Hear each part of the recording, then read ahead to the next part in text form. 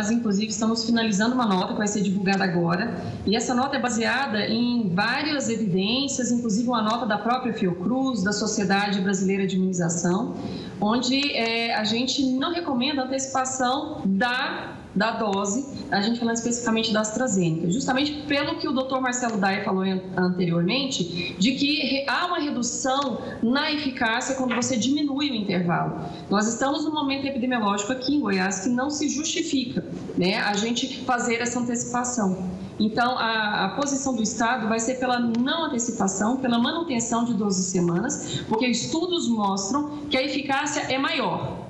Nós precisamos da maior eficácia possível para garantir que essas pessoas que receberam as duas doses, elas realmente estejam mais protegidas. Então isso mostra que antecipar, tomar as duas doses, uma mais próxima da outra, ou pessoas que estão tomando até três doses, isso não, não representa eficácia ah, maior que se esperar o prazo normal indicado pelo laboratório.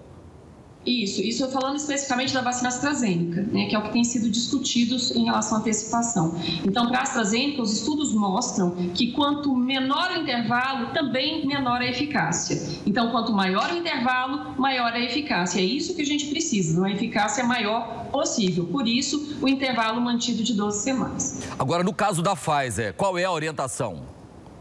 A, da Pfizer é manter o intervalo estabelecido. A gente tem que tomar muito cuidado, Lares, porque a gente recebe do Ministério as doses né, de acordo com a população para a primeira e segunda dose. Então, se você antecipa é, a, a, a, segunda dose da Pfizer sem ter recebido a D2 do Ministério, significa que eu vou ter que tirar das minhas primeiras doses para antecipar a segunda dose. E isso significa redução do número de pessoas e redução no avanço da vacinação. Então, tem que ter muita cautela na tomada né, de decisão. A gente tem discutido isso muito com as equipes, né, para que a gente tenha a, a decisão mais acertada e mais segura e mais eficaz para toda a população.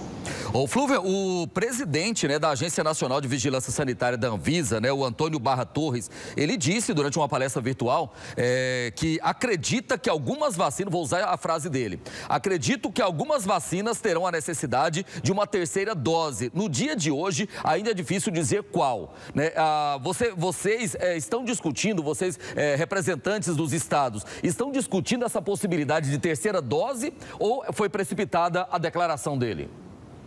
Não, existe sim a possibilidade, Waris. Primeiro que, como são vacinas novas, a gente precisa saber por quanto tempo essas duas doses protegem. A partir do momento que for verificado que a proteção ela diminui, né, assim como acontece com a influenza. A influenza nós temos que tomar vacina todos os anos. Por quê? Porque a gente sabe que de um ano para o outro a proteção cai e mudam também, né? As variantes, as cepas, elas mudam. Então, é, ainda é cedo para a gente afirmar qual que vai ser, né? é uma possibilidade sim, mas nós precisamos de estudos que comprovem de quando isso vai ser necessário, se vai ser necessário e com qual vacina. Então, por enquanto, não tem orientação para a terceira dose. Não tem orientação para a terceira dose. Nós não temos estudos que comprovem isso.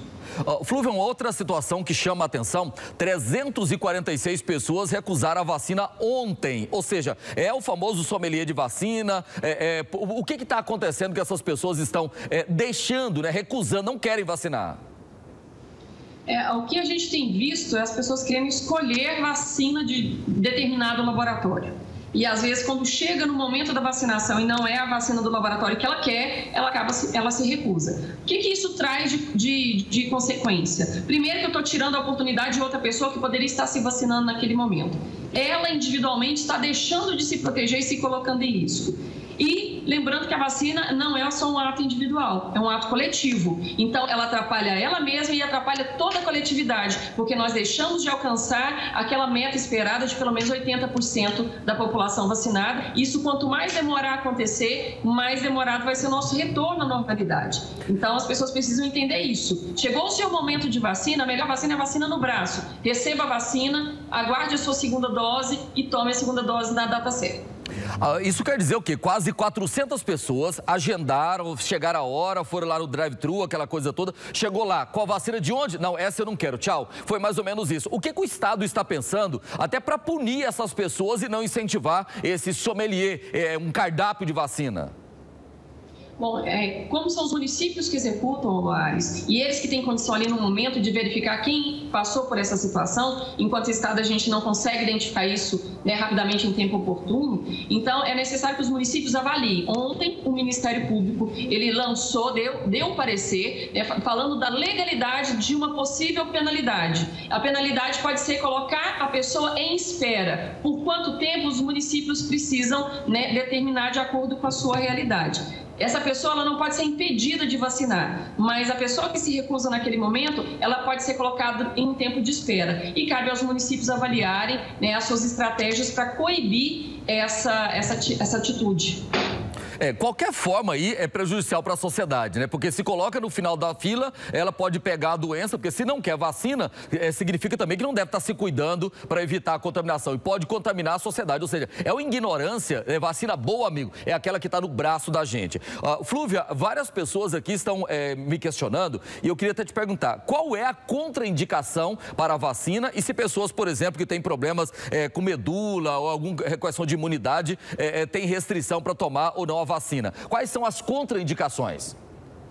Bom, as contraindicações, pessoas que é, por algum motivo apresentaram alguma reação grave, né, alguma reação alérgica grave, né, em uma primeira dose. Né, então, para tomar a segunda, a gente orienta a procurar um médico assistente para verificar a possibilidade dessa segunda dose. Pessoas que estão com doença em curso, pessoa que está doente, com febre, com alguma doença aguda, a, a recomendação é aguardar melhorar para depois receber a vacina. Essas são as duas principais recomendações. No caso, pessoas então que estão fazendo algum tratamento tratamento, transplante de medula, alguma coisa assim, é indicado consultar o médico.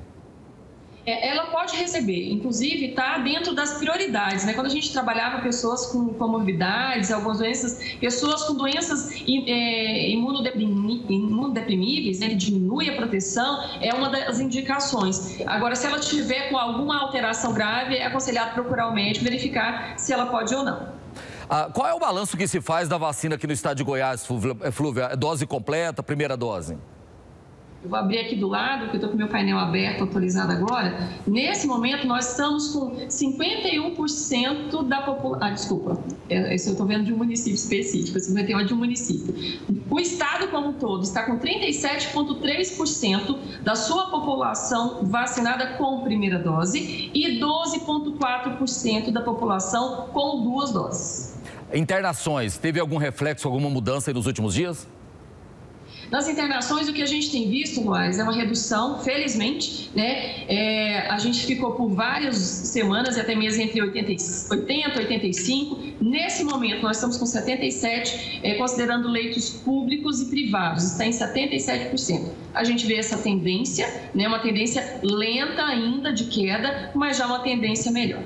Eu quero agradecer a Flúvia, mas eu, eu, quero deixar bem claro essa informação, gente. Não significa que é hora de liberar geral, não é hora disso tudo, porque mesmo pessoas vacinadas, elas podem pegar ou transmitir a Covid-19 para outra pessoa, né? Pode ser que ela esteja imunizada, mas o vírus está ali. O vírus só não vai, é, talvez, ter reação no organismo dela, mas ela pode transmitir para outras pessoas. E lembrando, muito importante, um detalhe que tem sido percebido nos hospitais, que eu converso muito com médicos que tratam pacientes com Covid, apesar de está diminuindo bem de forma bem lenta o número de internações, as pessoas estão ficando mais tempo internadas, ou seja, as pessoas estão passando mais tempo na, na, na UTI, não é isso, Flúvia?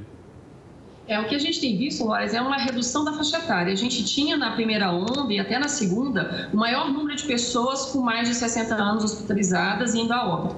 Hoje a gente vê uma redução e uma inversão, com mais pessoas mais jovens, ou seja, mais menores de 60 anos internados do que pessoas com, pessoas com mais de 60 anos. Aí pessoas mais jovens tendem a ter uma resistência maior e talvez em alguns casos justifique essa, esse prolongamento de internação.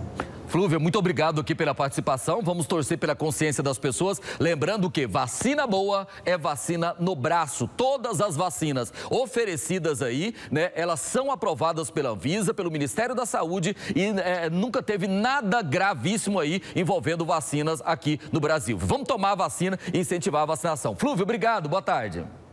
Tchauzinho para vocês. Boa tarde.